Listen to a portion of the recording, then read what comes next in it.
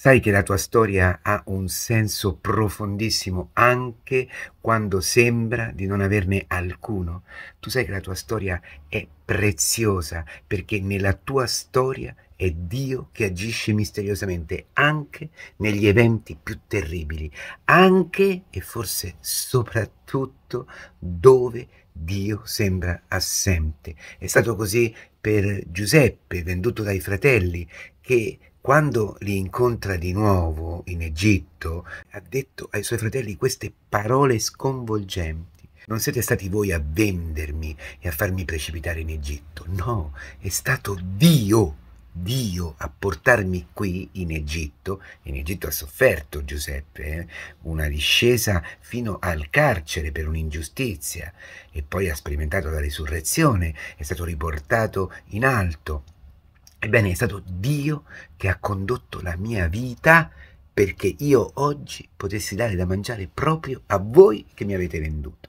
Questa è la chiave di volta della storia di ogni persona, il criterio per leggere la storia tua e mia, che è il criterio della croce gloriosa di nostro Signore Gesù Cristo, la croce che ha aperto e spalancato il cielo per tutti noi, la croce dove tutti pensavano che Gesù avesse fallito, dice davanti a lui si copre il volto, non aveva nemmeno più aspetto d'uomo, così erano le persone condannate alla crocifissione, non si potevano nemmeno vedere, tanto era lo strazio delle loro carni, della loro vita, della loro anima.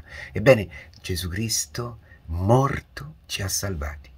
Questo che sembra una cosa che si dice sempre nella Chiesa, eccetera, è la chiave di volta della tua, della mia vita, della mia storia, della tua storia. Laddove ci aspetta il fallimento, laddove eh, siamo chiamati a morire, sì, a morire a noi stessi, a morire ai nostri progetti, laddove sembra tutto assurdo e buio, lì lì Dio sta attuando per la tua salvezza e per la salvezza delle persone che sono accanto a te, che sono legate a te, nella tua famiglia, nelle persone che lavorano con te, quando i tuoi figli ti tradiscono, quando la persona cara ti tradisce, quando non ti capiscono, quando ti mettono al bando, quando c'è una malattia, qualcosa di terribile che accade nella tua vita e che sembra mettere fine alle speranze, mettere fine ai progetti, è lì Dio all'opera nella tua vita.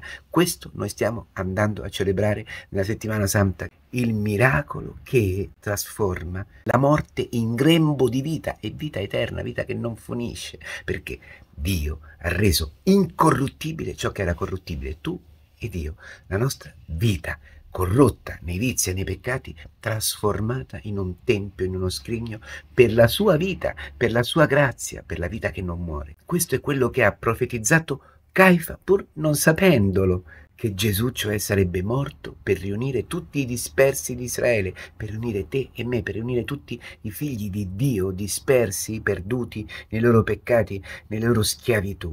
La morte di Gesù era fonte di salvezza, lo ha profetizzato colui il quale lo avrebbe condannato a morte. Capite? Colui il quale ti condanna a morte, colui il quale ti tradisce, colui il quale ti vuole del male, è proprio colui il quale profetizza la salvezza che Dio opererà attraverso di te. Ciò che ti uccide è ciò che ti salva e che salva le persone che sono accanto a te.